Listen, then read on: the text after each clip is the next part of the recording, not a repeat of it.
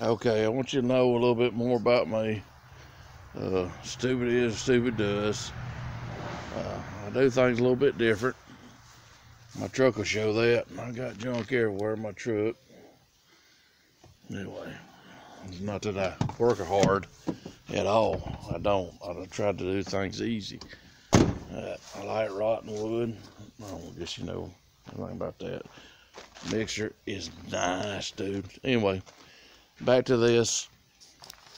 Poured this and uh, made my bird nest out of rotten wood again. Brushed it with a brush. You see the brush marks? All right. That's probably 30, 45 minutes ago. Anyway, I stuck my finger right there. All right. Um, it's gonna be like a bowl. I'm gonna put the uh, succulents in there. I guess I'll have to come back up with a, another little pretty house or whatever. But anyway, you can see the structure.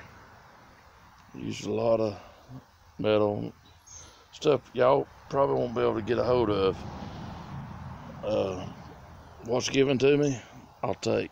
All right. You should too. All right. Love you. See you guys.